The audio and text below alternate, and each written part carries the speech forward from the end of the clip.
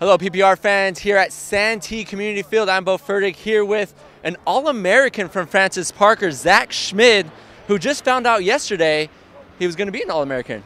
How does that feel? It feels amazing. It's a, a, very humbling opportunity. I'm just glad that our program could be blessed with another All American. I mean, my predecessor, Matt Wile, did it a few years ago, and I'm glad to do it now, too.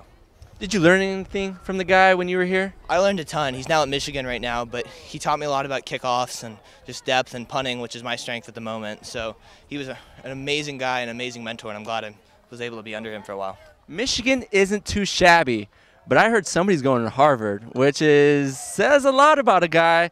Well, you know, talk about that. Well, I decided I really wanted to find a good academic school. Um, I had some opportunities and I've talked with some schools in the SEC, but I really wanted to go to a school that would give me the academic interest for after college. And, you know, not everyone can go pro. So I decided to, go, to commit to Harvard. Um, it was a tough decision, but I'm really glad I ended up verbally committing there. And what are you anticipating traveling east and playing in the game? I'm anticipating some good competition. The Ivy League is definitely nothing to look down on. They got some great competition. They're actually coming out tomorrow to play at USD. So I'm really excited to be a part of this. Zach Schmid, All American from Francis Parker. He'll do well at Harvard. Bowe Fertig with a Prep Pigskin report from Santee Community Field.